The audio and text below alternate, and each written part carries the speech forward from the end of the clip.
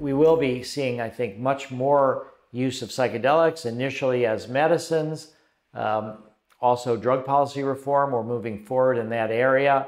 You know, MAPS that I started in 1986, now 35 years later, we've raised uh, over $130 million in grants and donations. We have no investors. We have about 125 people.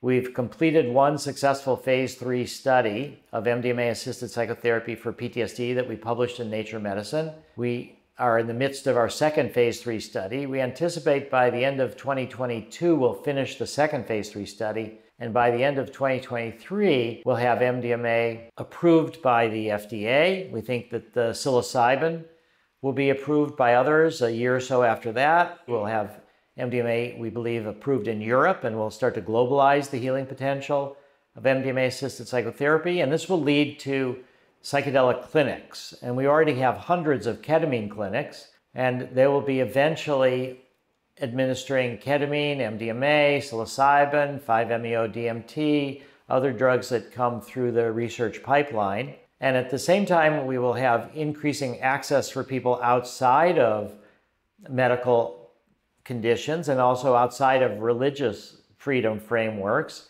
So the goal is, of course, to spiritualize humanity, to spiritualize people. And we've got many, many people that do have clinical diagnoses, particularly those that are depressed or anxious about dying.